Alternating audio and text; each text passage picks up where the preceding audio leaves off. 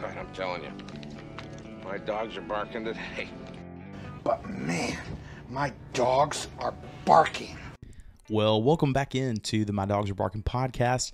I'm your host, Landon Tucker, and uh, we have some breaking news. It is official. Jeff Lebby has agreed to become the new head coach at Mississippi State in a five year deal for the Bulldogs. This is something that is, that's been talked about uh, over the weekend to try to see who Mississippi State was going to hire. Jeff Lebby's name has uh, been around uh, in, in circles in terms of talks of Mississippi State. Uh, and so now it is official. The Oklahoma offensive coordinator is coming to Starkville. Uh, and I, uh, we're going to kind of look at a couple of the reasons uh, uh, why this is a good hire for Mississippi State, and then maybe some reasons why this is a risky hire. With all, um, I mean, really, unless you're hiring, uh, you know, Nick Saban to be your head coach or Kirby Smart today, there's always risk involved. And so when you look at Mississippi State's situation, they needed someone with some offensive juice specifically.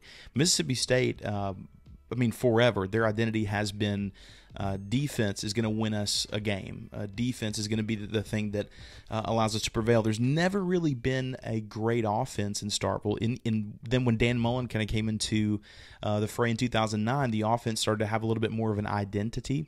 Uh, but even then, the defense is what Mississippi State has been known for. It's what the the Pro Bowlers in the NFL are for. Uh, Jeffrey Simmons, Fletcher Cox, Montez Sweat, Darius Slay. Uh, the list goes on and on of defensive players, but the offensive side of the ball has not been the the main forte for Mississippi State. So in this this brand of football that we've seen, especially when Mike Leach came in, we saw some offense, um, but the defense is what won a lot of games. This season, it seemed as if the defense, uh, while they had some very bad moments, overall held some pretty good teams in check, but the offense couldn't produce more than three points or seven points or or even 10 points at times. Now, Mississippi State has a head coach in Jeff Lebby that's all about some offense. Uh, Jeff Lebby has been around uh, some great coaches, worked under Lane Kiffin, Josh Heupel, um, uh, and has kind of worked under that tree of very brilliant minds. Um, and in a roundabout way, been is connected to Leach because Leach, you know, uh, Heupel came under that uh, on under that train, and and he uh, Lebby certainly learned from him. So uh, they should expect offense. Looking at uh, Oklahoma, what he did there this season was impressive. Now remember, Oklahoma has had a great offense forever. There's never been a time where they have, have had a terrible offense. This season was no different. Offensively, Oklahoma was remarkable. Uh, they finished fourth in scoring offense, seventh in total offense. But we have to remember who they're playing uh, whenever they're they're scoring all these points against teams. Um, you do not find a team ranked in the top 50 in defense uh, outside of two, uh, and that is when they they play number 11. Uh, number 11 in total defense, SMU. They won 28 to 11, uh, and then they they played um, number 37 Texas. Uh, Texas is number 37 overall in total defense this year, and I believe that final score was Oklahoma 38. What was it? What did we finish out at? I think it's Oklahoma. Okay, yeah, Oklahoma 34, Texas 30. So they're, even against very good defense, they were able to score. But that, that cannot be discounted. Jeff Lebby did some great things um, with with some very talented guys, but the, the competition wasn't great. You got to keep that in mind. It's Mississippi State's not going to come in and average that those kind of numbers, especially year one in the SEC. It's just defenses are, are a lot better um, kind of week to week from a week to week basis.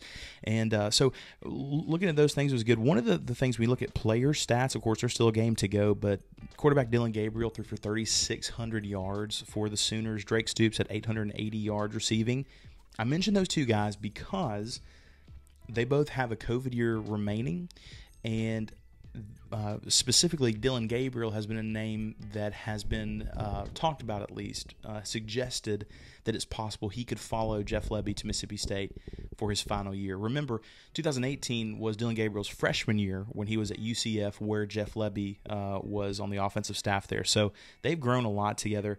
And honestly, Oklahoma has an absolute star in, in the making in Jackson Arnold. So their their future's kind of taken care of. And and here are some of the reasons, and we're not going to spend forever on this today, but uh, a couple of the reasons why it makes sense for Mississippi State. I think immediately the offense offensive identity is exciting. The offensive brand is exciting of throwing the ball down the field, of being quick, having tempo, having skill players getting them the ball. Um, Mississippi State's brand of offense this year has been pretty boring.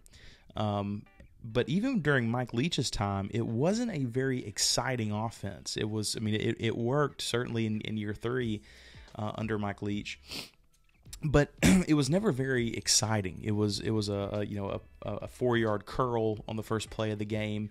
Uh, it was checkdowns to running backs, and again, they move the ball. And of course, Will Rogers' stats are remarkable, but it was never really anything that was very exciting. And the way I look at it is, at a place like Mississippi State, if you're going to lose a game, and you're not going to be Alabama, you're not going to be Georgia, you've got to at least be competitive and entertaining. I think immediately Mississippi State becomes interesting, and their offense becomes uh, certainly much more interesting than they have. And I think he is going to be able to use that for for why this hire makes sense in part two, and that is. I think Jeff Lebby's going to be able to get some players in the portal that otherwise would not have come to Mississippi State. Before Jeff Lebby was hired, it, it, appeared that some of the Bulldogs, uh, even though it was a rough year offensively, they did have some good players. Avion Thomas, uh, Tulu Griffin, of course, uh, even Creed Whittemore. But all three of those, I think it would not be out of the realm of, of likelihood that those guys would have left, at least two of the three. And now it appears as if, just based upon some of the things that the guys are already saying, that there's some excitement. You, even if they don't end up staying, um, it does appear more likely they would stay in, instead of having a defensive guy come in. And that is good news. Already had had uh, uh, J.J. Harrell um, uh, be interviewed and uh, by Ryan Young and mention how he's excited about the offense, how he likes the type of offense that Lebby runs. Um, there's already been some different prospects reach out, so I, I think immediately the brand's more exciting. There's just no way around it. And even if you're at a place at Mississippi State and you go seven and five next year, or you know eight and five, or, or whatever the case may be, there's a particular brand of football that's more exciting than than it is at this given moment. I think those are things that make sense. And he knows a lot of people in the sport. Jeff Lebby does. I think he's going to be able to bring together a staff that's interesting. Um, the, the last reason I'll say why I think this might work is really much more to do with the administration. It appears as if, based upon some of the things that Steve Robertson has reported, there's a lot more um, bought in donors. So for NIL and for uh, all the support that a football team needs, it seems like this is going to be a hire that gets people more involved and uh, gets again brings the excitement level up. And when you do that, you have more people that are willing to go into their pockets for for some cash um, to, to bring to the situation. And I think he's going to have a lot more support from people going all in on on the hire. Zac Selmon, I think, did a really good job in this hire. And he's a guy. It's really no no secret. He's a guy that's this that's not probably going to stay at Mississippi State forever. He's going to stay for a little while, and once he proves he he can do a good job, then he is going to go to a bigger program. That makes sense. He's a talented guy. Um, this appears to be a hire he wanted to make sure he got right, so he could do that. And to me, it's encouraging that um, he, he see, just seems like a guy who gets it. He knows how to fundraise. He did that at Oklahoma, one of the biggest brands in football, and uh, he's a smart guy. And I would not be surprised if this really works. Um, that they are a package deal somewhere down the road, wherever they go, whether it be back to Oklahoma, to another school, I don't know. But keep an eye out on that in the future for those two to both go together. Um, so I think I think those are some reasons why it works. Some of the causes for concern. Um, I think the the the easiest one is to think about Jeff Lebby's association with his father-in-law Art Briles. I mean, I think that one's just kind of a given. That that makes that makes sense. You don't really want um, you don't don't want Briles around the program. Uh, I think that one's kind of an easy one and kind of a gimme. I think that the next reason why it is a concern is he's just he's never been a head coach before, and there is a part in whether you are if you've ever been promoted in a job, you've ever you ever you know think of the role you were in that you've done well for a long time. You kind of know how it works. You become almost an expert in that field, if you, could say. But then you get promoted, and now you're the CEO over other people, over the person that used to have your job. And you can't just fixate on the one thing you you were good at that you mastered. Now you have to do all these other things. You have to have administration. Got to have these difficult conversations, and it really starts to prove if you're good at something uh, or you're not can Jeff Lebby do that? Because of course we've seen many people. I mean, many, many, many people that have been a good coordinator, but when they're the head person in charge, they just can't do it. That's a difficult thing. Mike Leach talked about that. How you know he's an offensive guy, but he said a lot of people, even if they're offensive guys or defensive guys, when they get promoted to head coach, they just say, "Well, I'll just let somebody else deal with the offense, or I'll let somebody else deal with the defense," and they go back. But that was the one thing they were really good at. So why wouldn't you? still trying to manage some of those things. Can he do that? Can he be the guy the, as the sole recruiter? I think that's the first thing. The second thing is the defenses were really bad at, at Oklahoma, and but like the part of that that's unknown is he he was the offensive coordinator. It wasn't his job to coach defense. So what is that going to mean? I think my concern is is there a certain level of um, is he comfortable with his defense giving up 30 points a game or 35 points a game because he believes he can score 50 a game? I think that's a problem in the SEC. You, you have to, you cannot have a defense that's like that.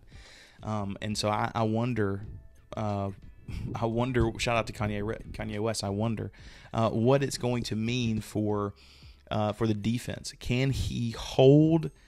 Um, can, can he cre- get a defense coordinator that is able to knock some of those things out and to really take care of them. Because again, in the SEC, you just have to have it. And let's face it, from a from a state of Mississippi standpoint, um, Ole Miss is on the up and up. Ole Miss again wins ten games in a season, might might win eleven.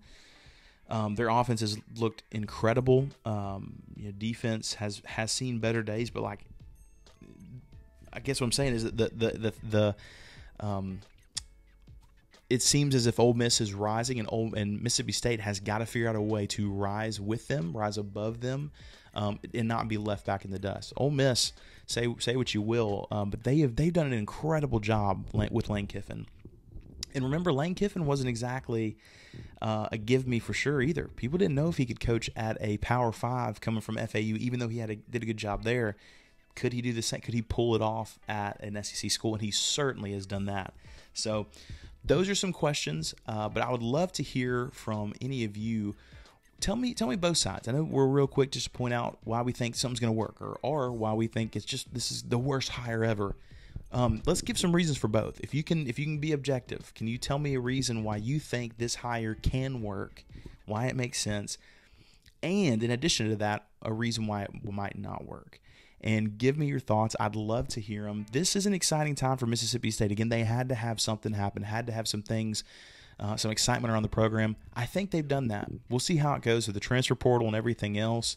Um, but overall, I think it's a good time to be a Mississippi State fan. They, they have dealt with a really, really difficult difficult couple of years. Well, difficult lifetime. Let's just be honest. It's not easy being a Mississippi State fan, but it, it, it is important to look at what the last um, 12 months have been like. And it seems as if this is some encouragement. But we will see how things go. It is always exciting. And I appreciate you for listening. Again, my name is Landon, and this has been the My Dawgs Are Barking podcast.